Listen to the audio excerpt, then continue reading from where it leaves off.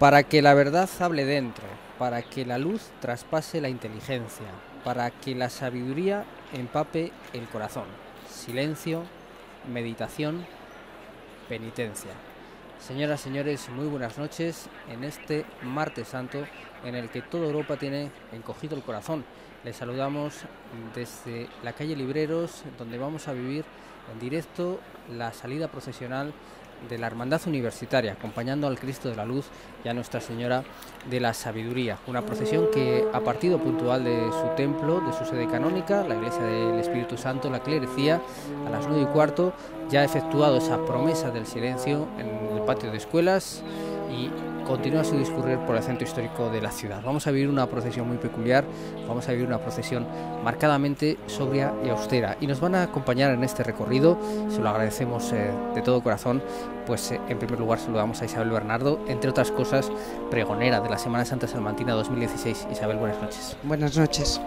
Y también está con nosotros, compañero periodista de Salamanca 24 Horas, Pablo Martín, perfecto conocedor del, del mundo cofrade y de las peculiaridades que ofrece esta silenciosa procesión. Pablo, buenas noches.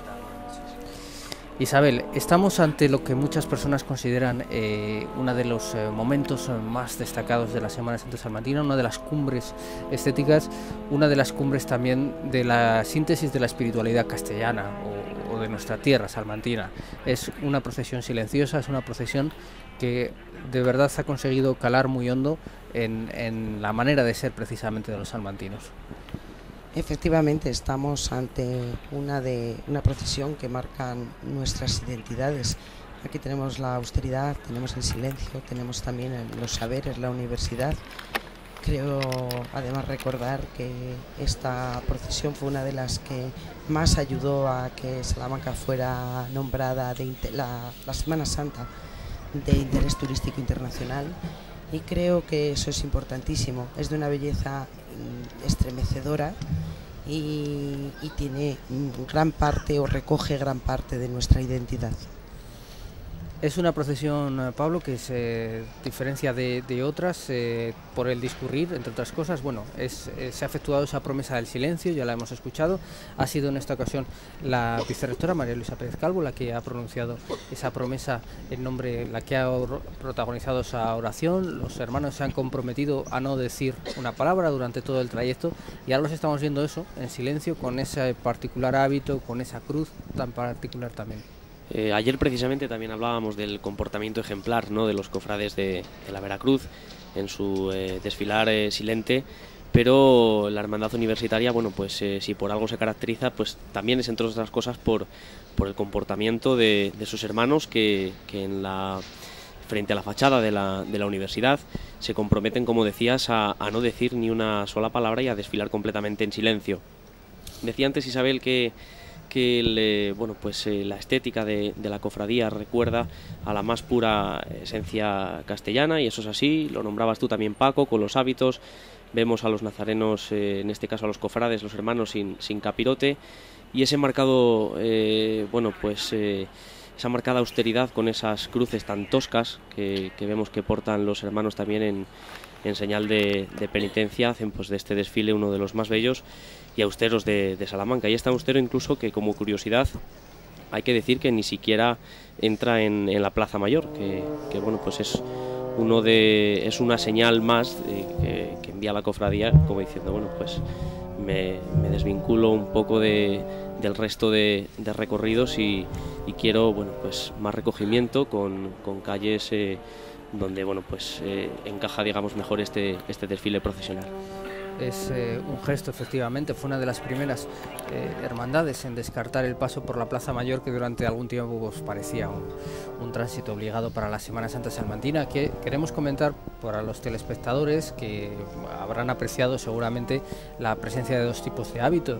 Eh, eh, este que tenemos en pantalla, que es el de la propia Hermandad Universitaria de Salamanca, pero abriendo el desfile, ahí lo tenemos, están estos eh, hermanos de hábito negro y capirote rojo que proceden de Valladolid, son precisamente miembros de la Hermandad del Cristo de la Luz de Valladolid, una hermandad que procesionará eh, si el tiempo lo permite, esperemos que sí, este próximo jueves santo por la mañana en las calles eh, vallesoletanas portando nada menos que el sensacional Cristo de la Luz de Gregorio Fernández, una de las grandes piezas de la imaginería castellana.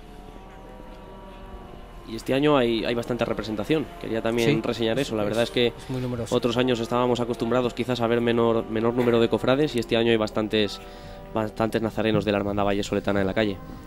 Comentabas tú antes, Pablo, eh, aprovechando el, carácter este de austeridad de esta hermandad, a mí me gustaría también reseñar eh, la norma que tiene esta hermandad de no utilización de anillos, pulseras, relojes.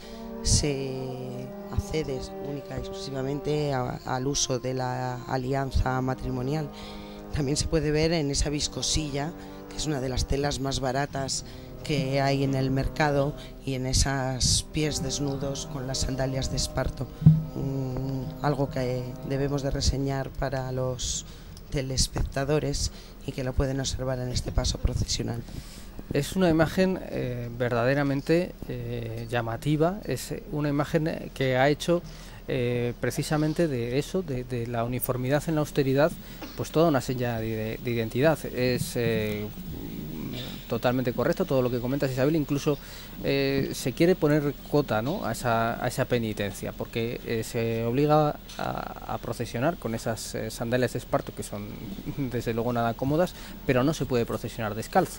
Es, un, bueno, pues es una serie de, normas que tiene la, la, hermandad universitaria y la verdad es que el acierto que decía Pablo del recorrido está fuera de duda. Estamos viendo esa estrechez de la calle Una vez pasada el patio de escuelas, esas calles tan, tan vestidas eh, de monumentalidad y tan desnudas de luz, esa reverberación tan particular de la piedra hasta de la noche, camino de la catedral, ver estas filas de, hermanos con esas cruces, eh, desde luego justifican eh, pasar como han pasado muchas de esas personas pues largas horas esperando este momento. Totalmente, hace un momentito hemos visto cómo entraba ya, creo que era el inicio de la procesión en la calle Calderón, bajo esa parra del balcón de Unamuno, de la casa rectoral.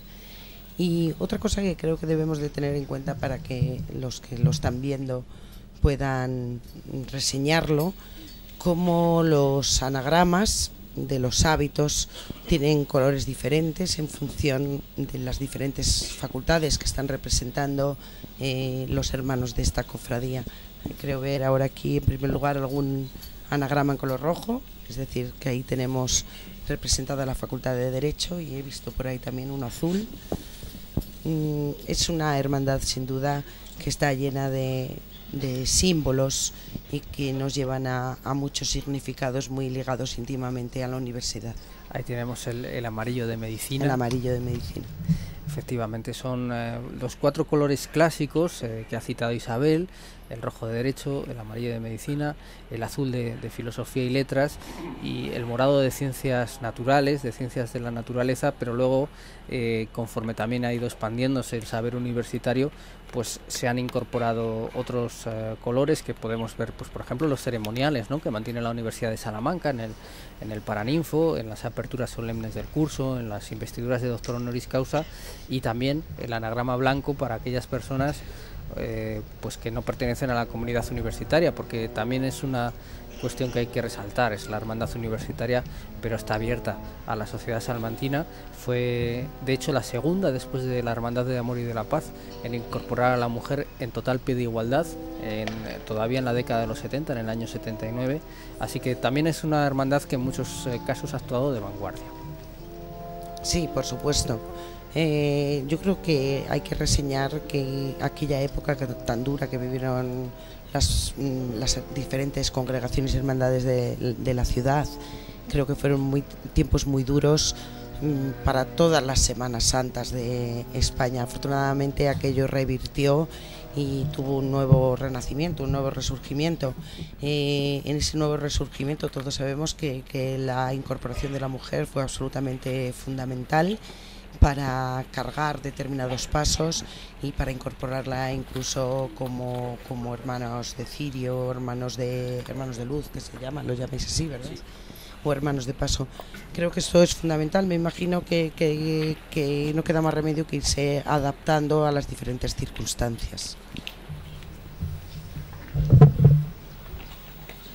Escuchábamos antes también los acordes del, del trío Christus que, que bueno pues eh, abre eh, suele abrir la, la, procesión y es también característico bueno pues que acompañando a la cruz de guía eh, vaya esa, esa formación musical de capilla. Creo que merece la pena eh, estamos viendo el transitar junto al atrio de, de, la catedral, junto a la portada de la catedral nueva. Fíjense la cantidad de gente que hay en estos momentos en estas calles y sin embargo que se oye eso, el rasguido de las zapatillas. Verdaderamente sorprendente la cantidad de gente que mueve la Semana Santa en esta ciudad.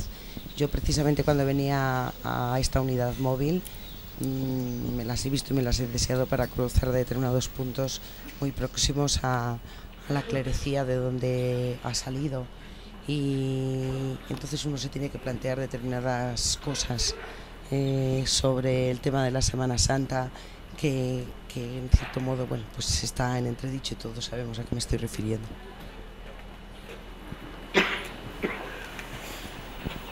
señal también de que la Semana Santa está, está viva y que la Semana Santa de Salamanca pues sigue sigue atrayendo ¿no? y para muestra pues pues estas imágenes o como decías Isabel esa plaza de San Isidro abarrotada de, de público los salmantinos se echan a la calle y precisamente pues eh, Salamanca se caracteriza por tener una, una Semana Santa fría eh, fría en lo, en lo climatológico. Y muchas de esas personas que, que estamos viendo pues llevan incluso una hora o más esperando a que pase a que pase la cofradía.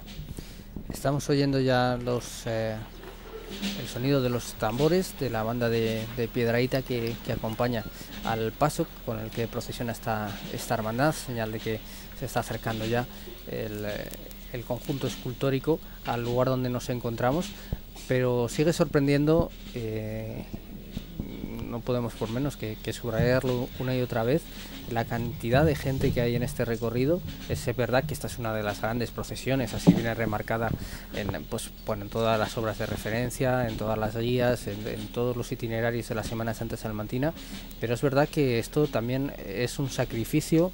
Eh, siempre decimos que es importante encontrar esa síntesis que, que en esa reformulación permanente que tiene la Semana Santa hay que encontrar una síntesis entre el protagonismo de los hermanos de carga y los hermanos de paso. Creo que esta procesión lo ejemplifica perfectamente, como sobre todo está apareciendo justo en este momento el conjunto del Cristo de la Luz y Nuestra Señora de Sabiduría, como los hermanos de fila precisamente son los que le dan esa personalidad y, y como la manera también de procesionar eh, contribuye a ello, pero también lo que aportan a la Semana Santa las personas que voluntariamente que, salen de su casa un día laborable, quizá algunas de estas personas estén en vacaciones, otras no, la mayoría seguramente no todavía, y, deciden pasar frío, pasar eh, alguna penuria, y pasar lluvia, como hemos visto días atrás, para participar ellos también en la Semana Santa, porque al final esto es una manifestación pública de sentimientos, cada uno con la visión personal que aglutina Isabel,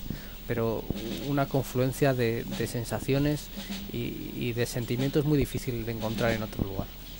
Sí, sin duda, sentimientos muchas veces inenarrables.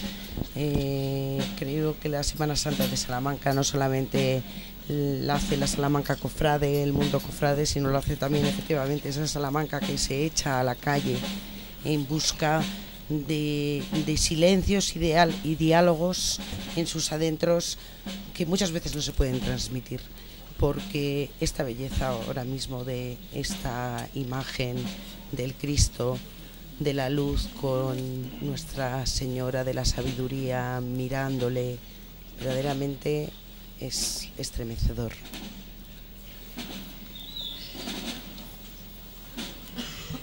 Dos imágenes que por cierto, mm, no, se hicieron para convivir conjuntamente, sin embargo, una vez que las subieron a las andas, mmm, se conjugaron perfectamente. Ya nadie puede imaginarse casi la, una sin, sin, la otra. Eh, comentábamos ayer, Pablo, que el, lunes santo históricamente había sido eh, sitio de la hermandad de nuestro Padre Jesús de la Promesa Ese es el orden que se quiso dar a la Semana Santa Salmantina, las siete palabras.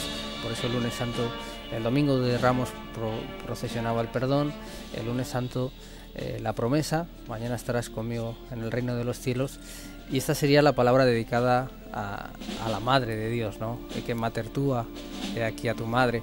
Eh, es verdad que, como decías Isabel, e, esa manera de, mirar eh, hacia arriba de, la madre al crucificado, sin ser dos imágenes ni siquiera de la misma época, porque se llevan algunas décadas, encuentran una conjunción Sí, de hecho fueron dos imágenes que no estaban hechas para procesionar.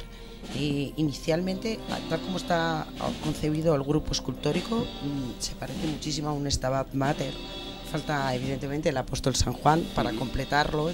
son imágenes de un calvario y son imágenes que están en perfecto diálogo la una con la otra porque yo siempre lo digo, lo dije en mi pregón, creo que, la imagen de, Cristo crucificado es una imagen para escuchar, un silencio para escuchar. Además acaba de pasar por el patio de escuelas, donde quién mejor para hablar de esa soledad sonora o ese silencio callado que Fray Luis de León tantas veces se refirió a él y por ahí ha pasado este Cristo de la Luz talla que, no estaba pensado para las procesiones, al igual que, la que veremos mañana también, la de Jesús flagelado, y sin embargo son dos de las, eh, de las procesiones más esperadas en la Semana Santa de Salamanca.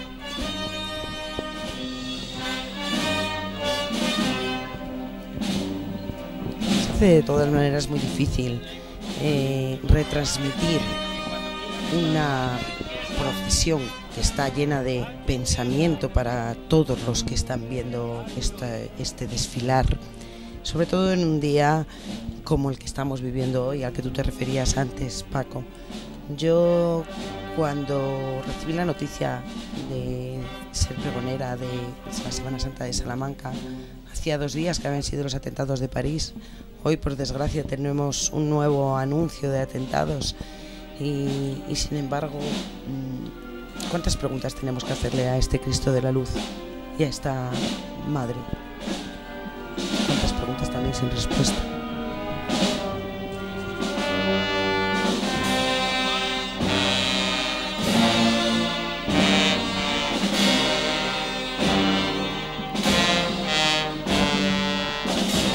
Había girado el Cristo de la Luz, Nuestra Señora de la Sabiduría, han girado la calle Libreos, en la calle Calderón. Ahí vemos ese plano sensacional que nos ofrece el equipo técnico de Castilla y León Televisión. Esta imagen también, como tantas otras, que da tanto sentido a la escenificación del drama de la pasión y muerte de, de Jesús. Creo además que los almantinos tienen que felicitarse por estas retransmisiones puesto que Salamanca no solamente es Salamanca ciudad, es Salamanca es su provincia y gracias a, a, estas retransmisiones, repito, todos pueden disfrutar de esta magnífica iconografía salmantina en la que estamos viviendo esta pasión y muerte y viviremos también la resurrección.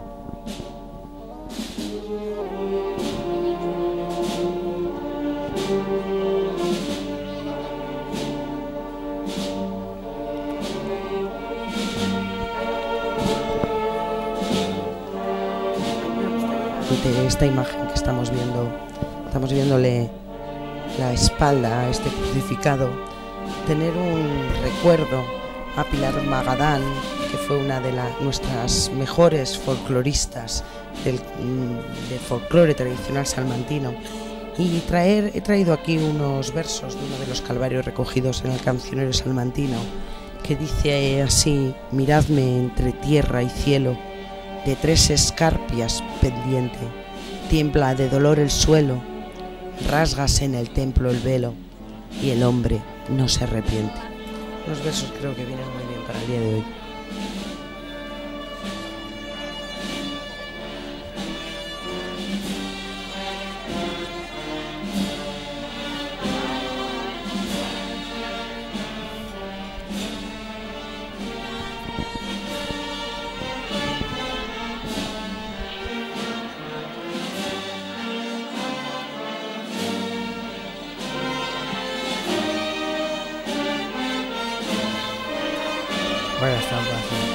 Con el, obispo. el andar cadencioso de los, de los hermanos de paso, ese Cristo y esa Madre que, que se alejan y bueno, pues que se van a adentrar en, la monumentalidad de, de, las catedrales de Salamanca. Ahora que tiene cierto protagonismo en esa imagen mientras sigue sonando los sones de la, de la banda de Piedraíta, porque nos lo hicieron notar el año pasado y creo que se justicia. Eh, hay que comentar que en esa sucesión de, etapas que, tenemos en este paso, eh, que incluye pues eh, la propia imagen de la Virgen, que es la más antigua, de Nuestra Señora de la Sabiduría, el crucificado de Esteban de Rueda, que se ha fechado en el año 1620, hay que comentar que la cruz de la procesión es una cruz que se añadió en el año 1953. Es una cruz que realizó Andrés López, es eh, eh, por lo visto también eh, bueno pues un artista que, dedicó bastante tiempo de su vida a tallar a mano con mucha paciencia esas vetas de la, de la madera en esa, en esa cruz que estamos apreciando. Y bueno pues es verdad que siempre pasa desapercibido en los comentarios en las retransmisiones en, quizá en las guías de eso tenemos un poco la culpa todos que nos vamos alimentando al final de las, de las mismas fuentes y comentarios, así que ya que se pusieron en contacto para decírnoslo, creo que es de justicia dejar este recuerdo para Andrés López, que en el año 53 también contribuyó a dar una personalidad muy propia a este Cristo, que durante mucho tiempo se ascribió, por cierto, a Pedro López de Reinaldo, no sé si con, con demasiado criterio, ya que era sobre todo un ensamblador de, de retablos, pero que mm, tras el feliz paso de esta imagen primorosa por las edades del hombre de Ciudad Rodrigo, eh, pues fue adscrita ya sin duda a ese sensacional representante de la escuela escultórica de, Toro, al toresano Esteban de Rueda, discípulo de, de Ducete, uno de los grandes imagineros que nos deja el barroco y que tiene también obras importantes. Además, a muy pocos metros de por donde está pasando ahora la imagen, pues eh, también esa Asunción que hoy preside el retablo de la Catedral Nueva maravillosa también la imagen, ahora tal como se refleja, de la Virgen de la Sabiduría. A mí me gustan mucho estas tallas que no son de vestir. Es una magnífica policromía con unos estofados maravillosos y que verdaderamente repasando todo el trabajo de estos panes de oro y cómo se van dibujando y se van señalando eh, las orlas en los vestidos, me parece que es precioso. Tienen, yo creo que ganan mucho más que las imágenes de vestir. Maravillosa la corona. También tienen su, época y su, moda, evidentemente. Hay que recordar, ahora que sacas ese asunto a colación, y saber que eh, tan, tan poco pensada estaba para procesionar esta imagen que de hecho toda la parte posterior no estaba trabajada, ni siquiera estaba eh, preparada para ser vista, eh, digamos, a modo oculto redondo. Así que cuando, cuando se configuró la procesión, uno de los eh, trabajos que hubo que hacer también fue precisamente estofar esa parte posterior que ahora tan, tan perfectamente integrada queda y, con, y con tanto primor se realizó para que pudiera ser, ser vista en procesión.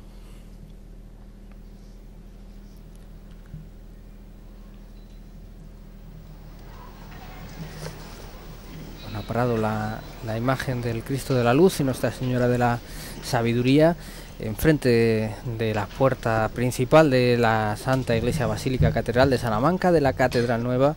Estamos eh, viendo, como viene siendo habitual en el recorrido, muchísimo público y también podemos, eh, siguiendo con las peculiaridades de esta, de esta hermandad, de la que, bueno, pues en el mundo cofrade se, se dice, eh, y es verdad que, tiene pocos enseres, porque lo estamos viendo a diferencia de otras, pero muy buenos.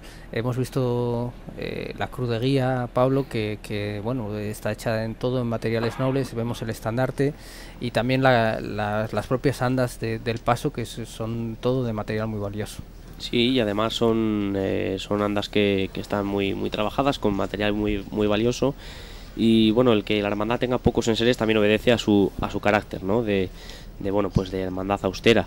Sin embargo, eso no quiere decir que no cuiden eh, todos los enseres y la simbología que, que, sacan a la calle, que tampoco hace falta más, porque lo vemos en, en los hermanos que van eh, desfilando con esas cruces, como decíamos al, al principio, incluso con esos eh, faroles, pero en seres cuidados como la cruz de guía, que hablábamos antes también como curiosidad, que la inscripción que lleva con el anagrama de la hermandad, pues, pues era en plata. Se levanta de nuevo el paso. Ese estandarte eh, que veían, eh, bueno, este año, y aprovechamos también para saludar siempre a, Eva Cañas, eh, que es la redactora de la revista Cristus, la revista oficial de la Semana Santa Salmantina. Hay unas interesantes páginas que invitamos a todos los telespectadores a leer, dedicada precisamente a los enseres profesionales de la universitaria. Y allí nos, nos recuerda Eva Cañas cómo ese estandarte fue bordado en hilo de plata sobre terciopelo negro en el año 1949 por Joaquín Sánchez y luego sería restaurado en el año 69 por las esclavas del, Santísimo. Es solo un ejemplo, ya decimos, de, bueno, de el patrimonio procesional que ha aglutinado la, hermandad, siempre sin salirse de esos renglones de austeridad y sobriedad, pero apostando por, pues, eh, como todo, para que el conjunto no desmereciera. Una de las cosas también que me ha llamado a mí mucho la atención y que me encanta además verlo es observar ese dolor callado, al cual me referí también en el pregón de nuestras dolorosas. Dolorosas que, que apenas tienen lágrimas y vamos revisando cada una de las vírgenes que tenemos en nuestra ciudad y que procesionan, mm, veremos que, que, a lo más llegan a seis, siete lágrimas y eran aquellas dolorosas calladas que diría Pemán, eh, que son las que sostienen todo, todo el, el dolor virginal y el dolor incluso de cualquiera de nuestras madres. Eso también me gusta mucho a mí decirlo.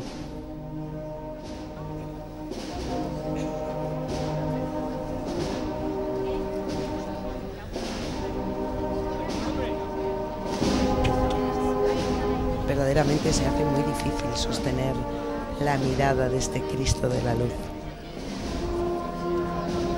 Con esa imagen bellísima, bellísima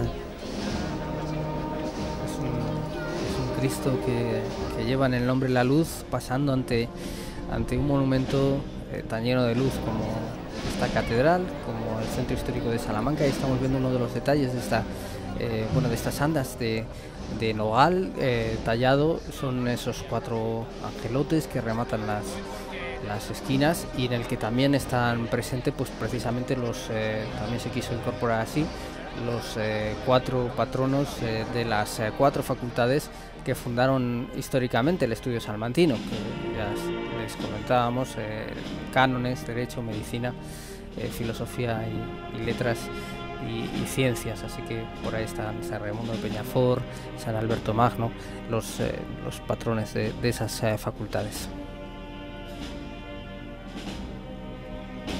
Y ahí está la noche ya recibiendo a este Cristo de la Luz esta Nuestra Señora de la Sabiduría, pedía el hermano mayor, he creído leer estos días en la prensa, que solamente esperaba que en el patio de escuelas estuviera bien posada la luna llena. Creo que hoy la luna llena está muy bien posada sobre la ciudad y sobre el mundo.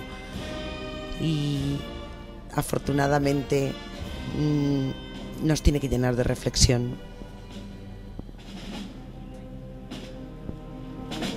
hermano mayor, eh, Rubén eh, Zazo, que, se estrena. Ha sido uno de los grandes estrenos de, la hermandad. Que bueno, me hablaba de, que al ser una hermandad tan tradicional y que funciona bien y que bueno, pues tampoco la verdad es que le haga falta mucho más. Únicamente lo que, lo que se venía era representar un cambio generacional, Y, bueno, pues el decir que la hermandad universitaria sigue viva y que, y que bueno, pues hay cantera para tirar cuantos años sea necesario. Un relevo generacional con mucha normalidad y tranquilidad y con mucha naturalidad. De hecho, el anterior eh, hermano mayor, Fernando Romo, continúa formando parte de la junta directiva. Eh, es eh, una trayectoria desde el año 48 en el que las cosas se han hecho muy bien en esta hermandad universitaria que hoy es indispensable en esa ciudad que, que hechiza, según refleja esa placa que recuerda las palabras de Cervantes en el licenciado Vidriera, pero que hoy no concibe un martes santo sin la presencia en la calle del Cristo de la Luz.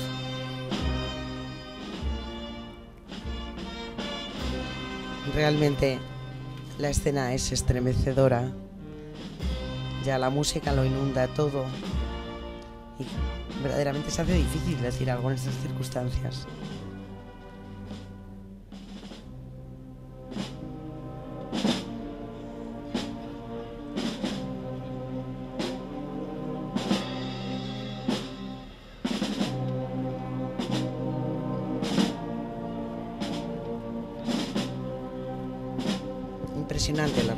De los salmantinos y de la gente de fuera que, que asiste a ver este espectáculo. Impresionante y esa magnífica imagen que captaban las cámaras, nuestros compañeros técnicos, como los pináculos de la catedral y, la cruz parecían formar parte de, un mismo bosque que, busca hoy, en un día tan triste y tan doloroso para, todos como hoy, pues eh, como decías, se eleva al cielo haciendo preguntas, haciendo sí, oraciones. Creo que es que nuestra Salamanca monumental se, se recorta, recorta todos sus relieves de luz en esta noche que parece muerta, pero sin duda no lo, no lo es, no es una noche muerta. Ahí los tenemos los relieves de los que yo hablaba.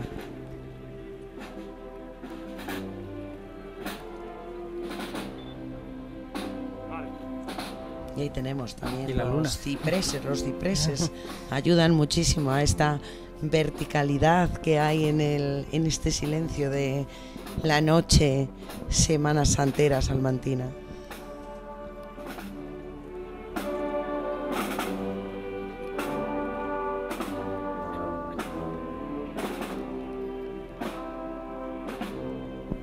El exorno floral, ¿verdad? Que va posado en, en la cruz, invita al ascenso. Sí, ahí vemos a los representantes con el hábito académico, los representantes de las diferentes universidades. Algo maravilloso también, porque esto es nuestra identidad y tenemos que, lucirla, hacerla ver. Pues este va a ser el momento en el que vamos a despedir esta ventana que hemos abierto hoy a la procesión de la Hermandad Universitaria en este martes santo con una imagen eh, realmente emocionante, impactante, bella en ese inicio del recorrido eh, por eh, la calle de la, de la Rúa, esa silueta tan llena de, sentimiento, tan llena de dolor y a la vez tan llena de esperanza. Isabel, Bernardo, muy buenas noches, ha sido un auténtico placer contar Ha sido un placer para mí estar ante esta imagen bellísima que me trae recuerdos universitarios maravillosos también. Muchas gracias, buenas noches. Pablo, compañero. Muchísimas gracias a vosotros y muy buenas noches.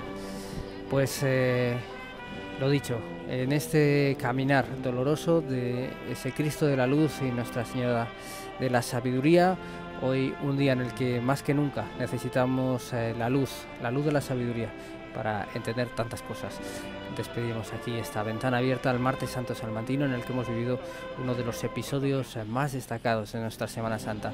Ha sido un placer que nos hayan acompañado. Muchísimas gracias, muy buenas noches.